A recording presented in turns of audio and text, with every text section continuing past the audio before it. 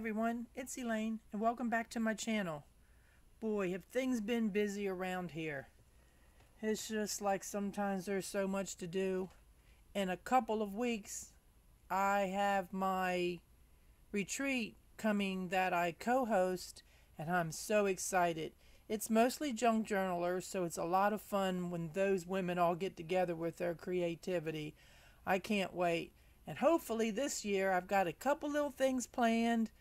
Um, I've never seen them anywhere before, so I've been working hard and uh, and I, uh, I'm kind of ready to get it behind me, but don't tell anybody, okay? Anyhow, what I have been working on are these books.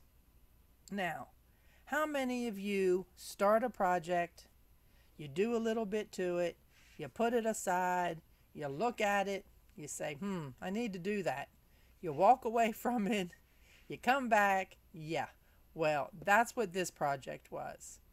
I had picked up some of these books. I had seen this done a few years ago, and I said, I can do that. I can do that. I have everything I need. So I found me some Dr. Seuss books in my little bookcase, and I said, okay. So I went ahead and I took the pages out the way that we do like if you're going to do a little golden book. Except in this case, because I'm using the spiral bound rings, I um, did go ahead and pages in half. I don't keep them as a signature, okay? Um, but I do keep the pages in order. So anyhow, I got everything cut.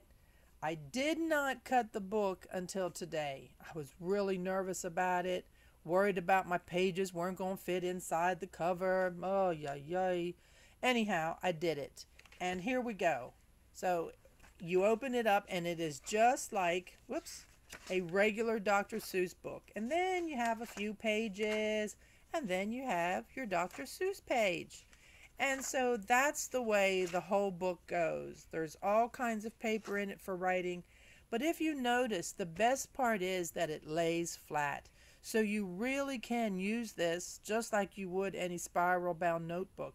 And the other part is you can fold it in half if you're walking and talking and, and writing. You can actually, it's, it's solid. All right. And there's a lot of paper in here. I think I did like a hundred sheets, I want to say. So it's pretty hefty. Now, let me show you the rest of the story. And I really hope my computer's not acting up. I see my picture jumping a little bit. You know how it is. Technology. You love it and you hate it. So now this one I did, but this book was so, it had so many more pages in it, just the book itself. And so I had to use a bigger ring. Well, my binding machine doesn't like anything over one inch.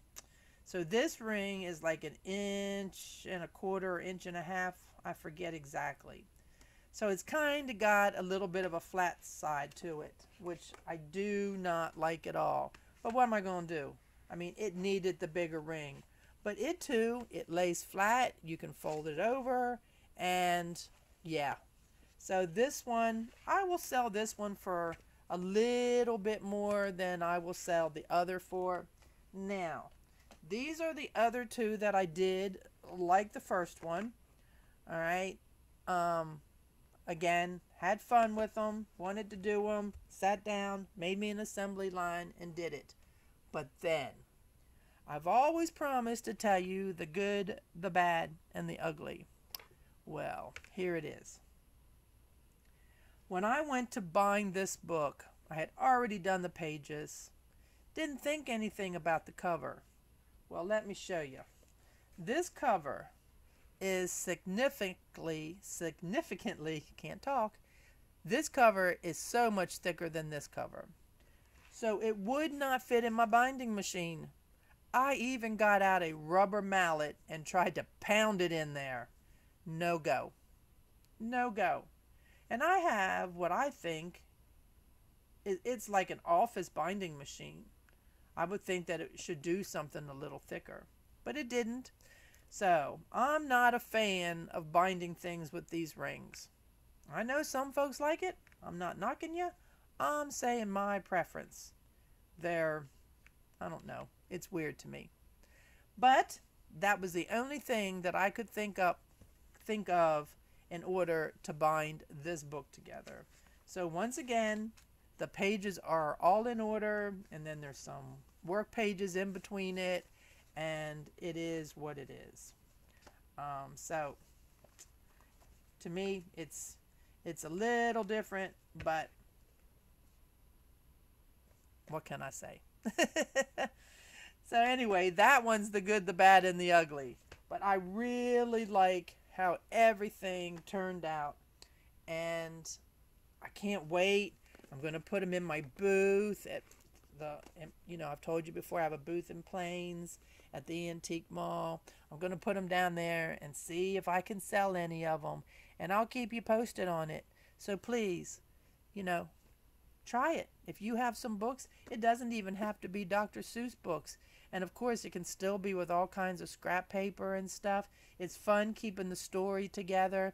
And if you, you know, you want to use rings or you want to use the binding system, I also have ones that are the plastic rings too. Excuse me, I'm still getting over a head cold. But um yeah, give it a try. So I do my best to put up a video every Tuesday evening at 6 p.m. Eastern Time. You can find me on Facebook. I have a private Facebook. I have a group, a page.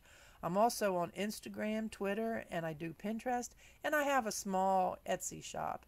And if you happen to live anywhere in the Georgia area, mostly middle to north Georgia, I have teamed up with my friend Lori, and we're going to be hosting retreats in 2023. We've got three scheduled. I have all the information listed, and if you want more information on the retreats, just send me a private message on Facebook and I'll send you in the right direction. It's going to be fun. We've got all kinds of crafters, scrapbookers, junk journalers, people that sew. Um, I'm trying to think there was somebody else that was doing something one day. I think she was painting.